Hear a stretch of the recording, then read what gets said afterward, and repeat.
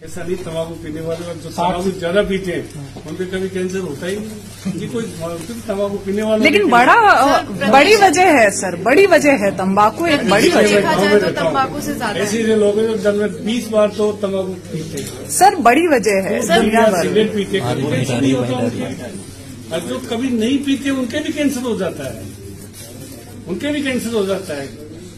और शहरों में कौन तम्बाकू पीते हैं? वहाँ भी शहरों में भी होते हैं लोगों।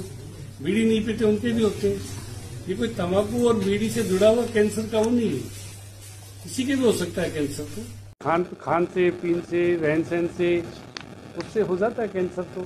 ये तो डॉक्टर बता सकते हैं क्यों होता है। लेकिन डॉक्टर का कहना है कि जो सबसे ज़्यादा कैंसर का जो कारण है वो तंबाकू साठ से क्या मानते हैं डॉक्टर की जो मत है उससे आपका मत भिन्न मेरा उससे मत भिन्न है ऐसे डॉक्टर गाँव में आज भी ऐसे लोग हैं जो दिन में दस बार तो दिन में दस बार तो तम्बाकू पियेंगे ही पियेंगे। और उनके कभी कैंसर नहीं होता है। कभी सौ साल भी उम्र हो जाए अस्सी भी हो जाए नहीं। कैंसर नहीं इससे तम्बाकू और इससे जुड़ा हुआ कैंसर नहीं है। ये तो किसी के भी हो सकता है कैंसर तो।